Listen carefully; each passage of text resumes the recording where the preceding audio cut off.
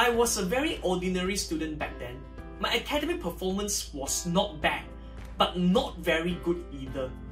Definitely, I was not the top student in my class, especially when I was in primary school uh, and secondary school. Average, I rank about uh, 20 to 30 annually lah, in my class. All this while, my dream is to become a doctor.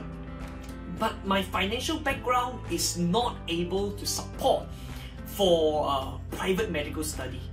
So at one point, I think it was around my SPM time, I told myself, if I want to make my dream come true, I have to make a change.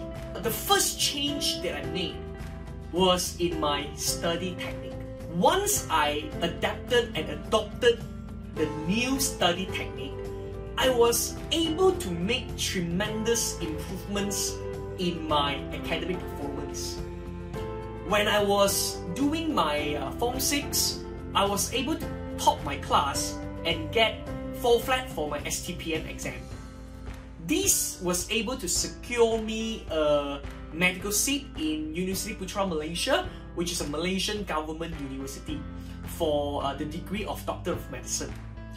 And throughout my medical study, I was fortunate enough that I got distinction for Professional 1 exam, top 10 for Professional 2 exam, and in my final year of medical study, I uh, got the best in terms of overall medical student and was awarded a gold medal by the Malaysian Medical Association.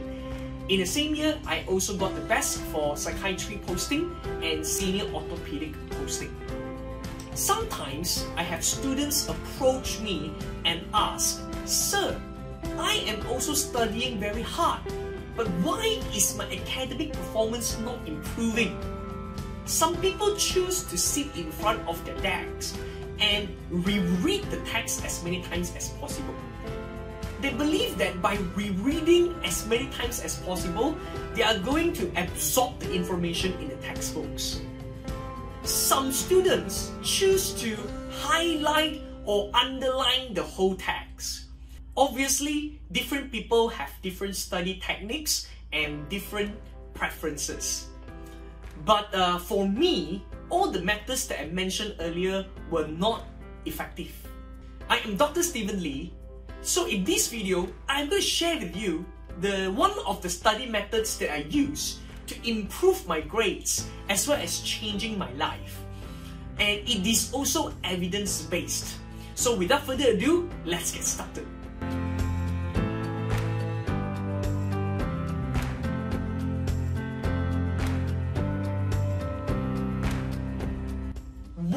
Study techniques that I applied is called active learning. A lot of research papers have proven that this method is highly effective. Let's take for example, this paper, which was published in year 2014, has proven that active learning is showing efficacy and effectiveness in terms of study in science, engineering, and mathematics. So, what exactly is active learning?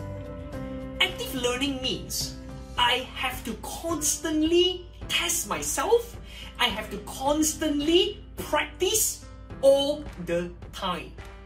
One example that I normally use is blood taking.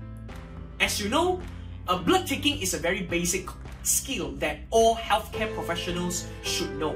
But it is actually not simple to find the veins, especially for beginners like us. And when we are facing patients who are obese or elderly patients or patients with kidney problems, it's not very easy. So we can actually choose to go on to YouTube and learn about the techniques on how to do the blood taking skills. But trust me, no matter how many videos you watch, no matter how many articles you read, the best way to learn is to approach the patients and practice on them. This applies to study as well. For example, some students who are not very good in additional mathematics, they choose to study by reading solutions, which are already worked out for them. They thought that by reading solutions, they are able to solve the questions by themselves. But when they are facing the real exam questions, they found that they are not able to solve the questions. You see, these are some real life examples revolving around active learning. See, when I was preparing for major examinations like STPM or my professional exams, I am constantly doing questions every single day.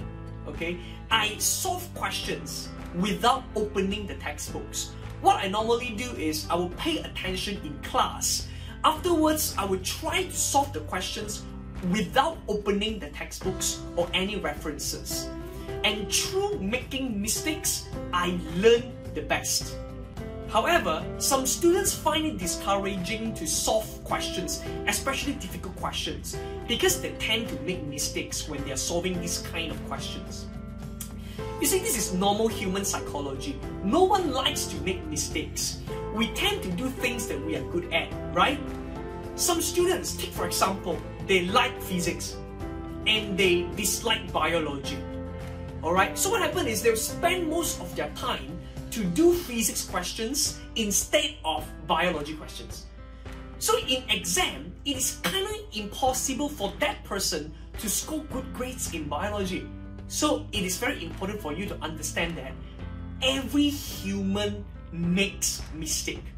Most importantly is we progress from the mistake, we learn from the mistake, and we don't repeat the mistake again next time. So trust me, learning from mistake is the best way to learn and every mistake is an opportunity for you to learn something. So remember, you either win or learn. So remember, embrace your mistakes and step out of your comfort zone. Besides solving question banks, uh, before major exams, I would also uh, practice this habit in which I would uh, take out a piece of blank paper and I would write down all the concepts regarding that topic even without opening the textbooks. Okay? After I wrote down all the concepts that I remembered, I will open up the textbook and uh, compare with the reference. Okay? And uh, I will see how many mistakes or how many points I missed. And I will use another color, maybe a red pen, to write at the side. So these are the points that I couldn't recall, and these are the points that I have to pay more attention next time.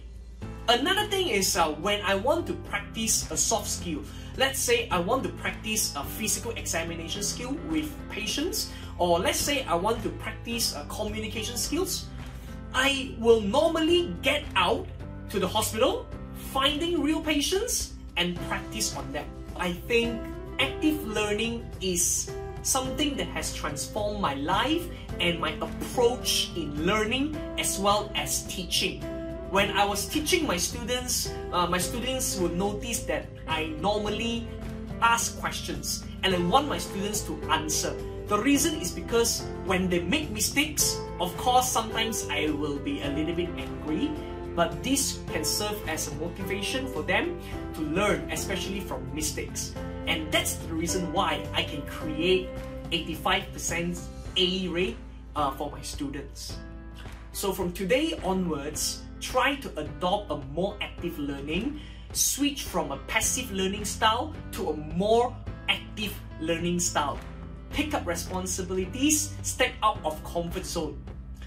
I am Dr. Steven Lee. If you enjoy my videos, do subscribe to my channel and I'll be posting more of uh, study technique related videos in my channel.